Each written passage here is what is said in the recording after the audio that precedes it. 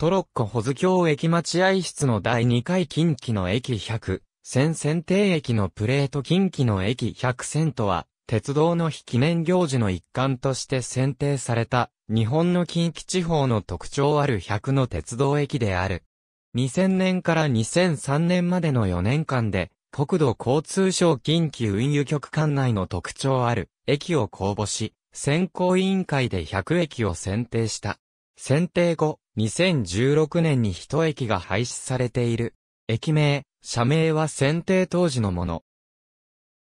大阪駅、大阪府大阪市北区梅田駅。2019年10月1日、大阪梅田に海将浜寺公園駅、関西空港駅、水間駅。2009年6月1日、水間観音駅に海将万博記念公園駅、コスモスクエア駅。2005年7月1日から大阪市営地下鉄の2018年4月1日以降は大阪市高速電気軌道の駅震災橋駅2018年4月1日以降は大阪市高速電気軌道の駅京都駅稲荷駅宇治駅鞍馬駅山の橋立駅2015年4月1日以降は京都丹後鉄道の駅木の崎駅2005年3月1日木崎温泉駅に解消新長型駅、伊丹駅甲子園駅スマウラ公園駅、有馬温泉駅六甲山上駅橿原、神宮前駅学園前駅坂本駅2018年3月17日、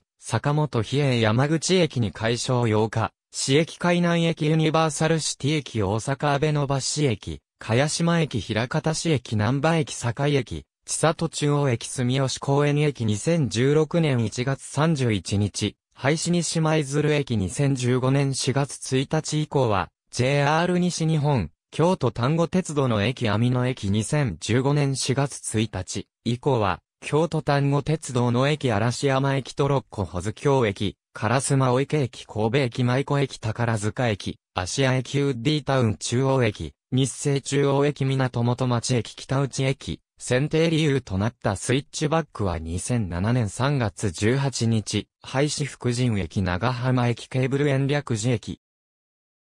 那智駅天王寺駅上本町駅2009年3月20日、大阪上本町駅に海将岬公園駅、記載地駅13駅鶴見緑地駅2018年4月1日以降は、大阪市高速電気軌道の駅泉中央駅2016年7月1日以降は、仙北高速鉄道の駅に上駅国際会館駅、五室駅2007年3月19日、小室仁和寺駅に海将大駅2015年4月1日以降は、京都丹後鉄道の駅番州赤高駅山丸部駅、川西野瀬口駅向川駅、人丸前駅恵比寿駅西新中央駅、マヤケーブル駅2013年1月1日以降は、神戸住まい町づくり校舎の駅奈良駅、大和高田駅浜大津駅2018年3月17日琵琶湖、浜大津駅に海将しがらき駅すさみ駅高野山駅、